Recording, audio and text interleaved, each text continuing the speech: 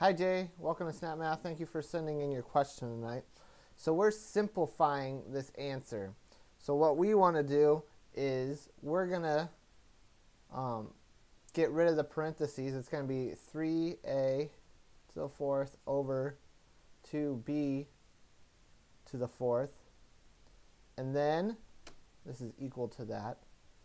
Then you have to distribute the, the fourth power to each one of these things.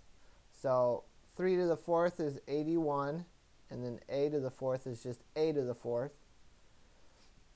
And then 2 to the fourth is going to be 64, and then it's going to be b to the fourth. So this will be your answer right here. All right, thank you for sending in your question tonight, and we look forward to answering more of your questions in the future. Have a good night, Jay.